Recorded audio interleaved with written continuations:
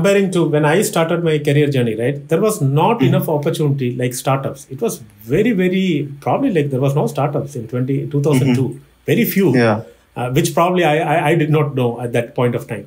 So now there is Yeah. like lot of uh, youngsters are coming with ideas, and they all started wanted to. I read an article uh, recently, like uh, the GM of Tata, right? He added that uh, he started that Goodfellows, which I think Yeah, uh, Ratan yeah. Tata itself has uh, funded into this one. So Mm-hmm. there are a lot of initiatives happening. I would still suggest that in your early career, you can. Mm-hmm. I think different people are coming from different backgrounds, so they have different Mm-hmm. personal reasons. I would still suggest that if you can take that risk, Mm-hmm. try to fail in the initial stages of your career.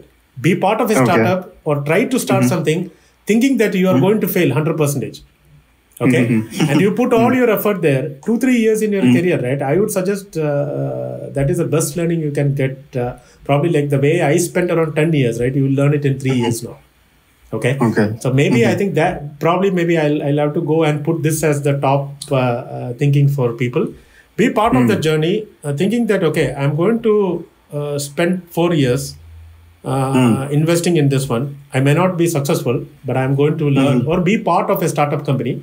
I'll try to learn something. I may not make the money which I'm going to get uh, from other companies, right? Yeah. Uh, so I think I, my advice would be that you will get a lot of learnings. Then uh, come come to if you want to be part of a bigger company.